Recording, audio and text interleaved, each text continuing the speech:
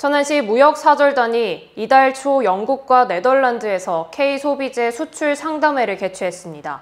우리 지역 5개 수출 유망 기업이 꾸린 무역사절단은 전통적 소비재부터 혁신적 제품에 이르기까지 다양한 제품을 선보였는데요.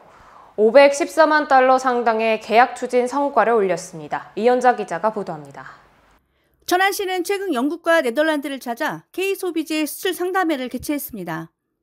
시는 이번 상담회를 통해 1,833만 달러 규모의 수출 상담 실적과 514만 달러의 계약 추진 성과를 달성했다고 밝혔습니다.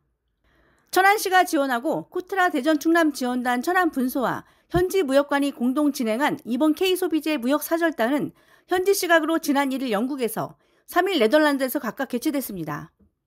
이번 무역 사절단에는 CS 컴퍼니, 주한 FC, GL 패키징, 주식회사 마나코스, 브리제 등 지역 수출 유망 기업 5개사가 참가했습니다. 참여 기업들은 전통적인 소비재부터 혁신적인 상품까지 다양한 제품군을 선보이며 글로벌 시장에서 경쟁력을 확보하고 특히 현지 바이어와의 일대일 상담을 통해 비즈니스 성과를 도출했습니다.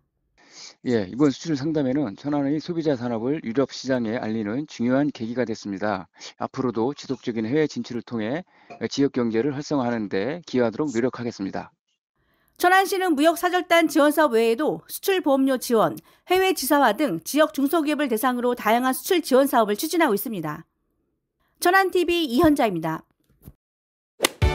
2024 천안 아마추어 골프대회가 10월 30일 골프존 카운티 천안에서 열립니다. 골프를 통한 여가 기회를 제공하고 사기 진작을 통해 천안시 체육 발전에 기여하는 2024 천안 아마추어 골프대회 공정하고 다양한 기회를 제공합니다.